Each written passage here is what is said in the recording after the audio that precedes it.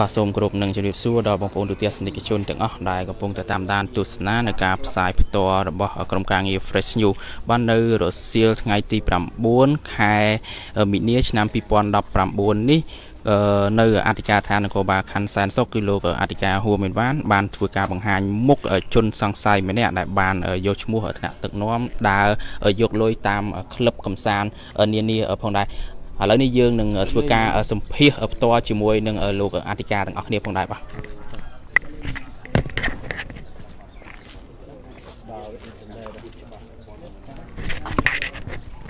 បាទជំរាបសួរលោកអធិការបាទបាទជំរាបសួរបាទពាក់ព័ន្ធនឹងករណីនេះតើលោកអធិការជួយបញ្ជាក់លម្អិតបន្តិចបាទបាទសូមអរគុណអឺនេះជាករណីឆោបោកមួយហើយជាករណីឆោបោកនេះយើងក្នុងខណ្ឌសែនសុកយើងនេះទៅតែមានតែមួយលើកនេះ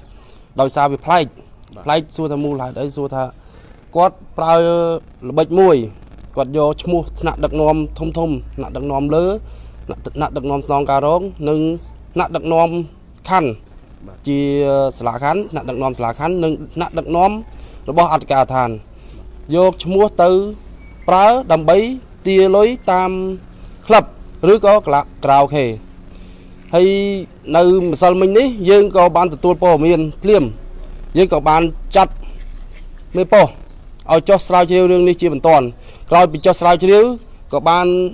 ខាត់ជនសង្ស័យម្នាក់ឈ្មោះបើច័ន្ទអាយុ30បើចន្ទធីអាយុ37ឆ្នាំ ដែលមានមុខរបរជាអ្នករត់តាក់ស៊ីហើយគាត់នេះអត់មាន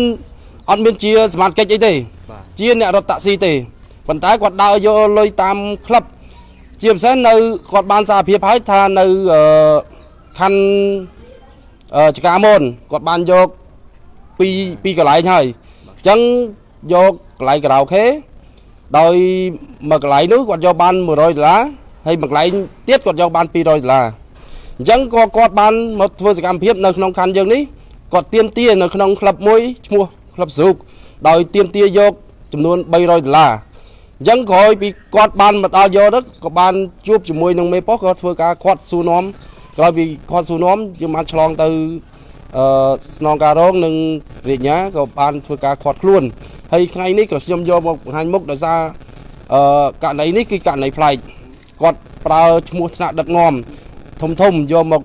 ទាលុយពីជាពីអាជីវករផ្សេងផ្សេងដែលនៅរកស៊ីនៅក្នុងខណ្ឌសែនសុកយ៉ាងនេះ ហើយខ្ញុំក៏ចង់សំណពរទៅបងប្អូនជាពលរដ្ឋដែលរស់នៅក្នុងខណ្ឌសែនសុកយើងក៏សូមសំណពរថាបើសិនជាមានករណីដូចជាករណីនេះសូមឲ្យធ្វើការតំណែងតំណងជាមួយនឹងមូលដ្ឋានប៉ុស្តិ៍និងមូលដ្ឋានខណ្ឌដើម្បីធ្វើការខាត់ខ្លួន ជនសង្ស័យដែលប្រើឈ្មោះថ្នាក់ដឹកនាំយកអឺប្រើឈ្មោះថ្នាក់ដឹកនាំដើម្បីចម្រិតទាលុយពីម្ចាស់អាជីវករផ្សេងៗនៅក្នុងមូលដ្ឋានរបស់ខ្ញុំបាទសូមអរគុណ ហើយជាវិធានការបន្តតើខាងសមត្ថកិច្ចនៃអធិការនគរបាលខណ្ឌខេត្តសុខនឹងកសាងសំណុំរឿងយ៉ាងម៉េចយ៉ាងម៉េចដែរចំពោះជនសង្ស័យរឿងនេះបាទបាទសូមអរគុណករណីនេះផងដែរក៏យើងបានធ្វើការកសាងសំណុំរឿងបញ្ជូនទៅតុលាការដើម្បីអនុវត្តតាមផ្លូវច្បាប់ហើយបើសិនជាមានករណីក្រោយៗផ្សេងផ្សេងទៀតក៏យើងនៅតែបន្តអនុវត្តច្បាប់ទៅលើករណីនេះផងដែរបាទបាទអរគុណបាទសូមអរគុណ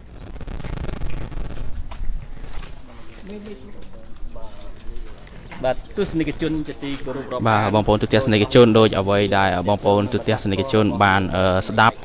នៅការ អឺ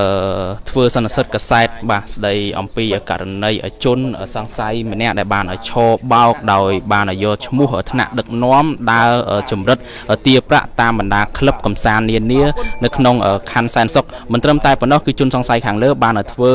សកម្មភាពនៅខណ្ឌចំការមនពីរកន្លែងទៀតផងដែរបាទហើយនៅពេលនេះយើងសូមមកធ្វើការបិទបញ្ចប់នៅការផ្សាយផ្ទាល់ត្រឹមតែប៉ុណ្ណេះបើសិនជាខ្ញុំបានធ្វើការថាអធិប្បាយទៅមានកំហុសខុសឆ្គងពាក្យសម្ដីត្រង់ណាមិនសមរម្យសូមមេត្តាខន្តីអភ័យទោសផងដែរបាទ